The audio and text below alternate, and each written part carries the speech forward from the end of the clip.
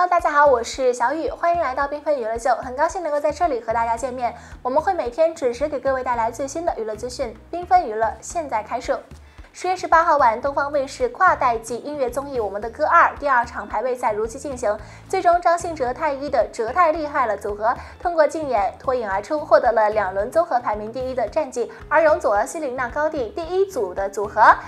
钟镇涛、冯提莫的中国风组合则分获第二、第三名战绩。从演出效果和专业角度来看呢，这场比赛经验遗憾并存，三组选手各有闪光点，也都各有不足。例如钟镇涛的笨拙舞姿，张信哲 rap 歌词涉险过关，都是专业舞台所不应该出现的瑕疵。而他们演绎金曲的能力，对比第一季歌手的表现来看呢，确实有些乏善可陈，距离联手打造经典目标呢，也是更加遥远了。节目中反倒是前辈歌手和新生歌手对待音乐的态度反差太过于鲜明，张信哲立即起。风范，谢。琳娜一高有些娇惯了，太一呢则是过于自我了，情商实在是有些低端了。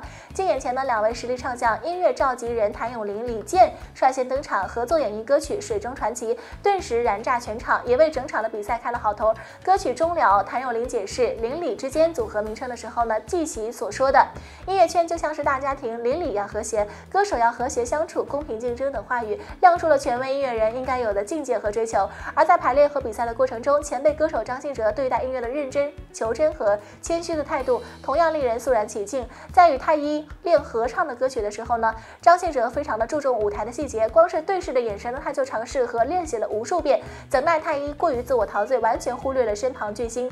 在演唱《太想爱你》之后呢，张信哲居然走出了舒适圈，尝试演绎曲风，格格不入的像暗杀似的绕到背后突然拥抱你。节目中前辈歌手学唱演绎新生的歌手作品。张信哲虚怀若谷的态度更值得点赞，而这首歌名永长，怪异的歌曲 rap 歌词更是又长又拗口，但是张信哲呢却是认真的背记练习，两人演唱的时候更是惊艳燃炸，相得益彰。对比张信哲认真敬业态度，新生歌手谢琳娜高则是显得有些慵懒了，娇惯了。在与容祖儿拍摄战队合照的时候呢，希林称自己是职业假笑很厉害，并真的摆出了应付笑容。而在彩排歌曲小小的过程当中，当工作人员提醒希林要与容祖儿多些眼神交流的时候，他更是直言自己不敢看容祖儿，因为歌词太长，他要始终盯着提词器。显然张信哲的歌词更长更难背啊，却在彩排前认真准备。而相对来说呢，希林的歌词更容易背记，更何况又是和前辈容祖儿的首度同台，理应做足功课。彩排的时候还看提词器，实属不该呀。而歌手太一虽然有才华有特点，但是却过度自我了，情商实在是太低了。彩排和演出的时候，太一始终沉浸在一个人的音乐里面，无视身旁的张信哲，眼神交流问题自。始至终都没有很好的解决。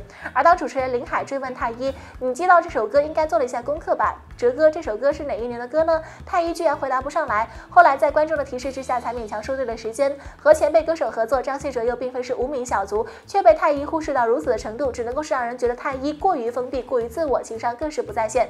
我们的歌所倡导的理念呢，正是音乐的传承和跨代际的演绎。相比于前辈的歌者，新生的歌手们迫切需要强化的，或许正是认真、谦虚和学习的态度吧。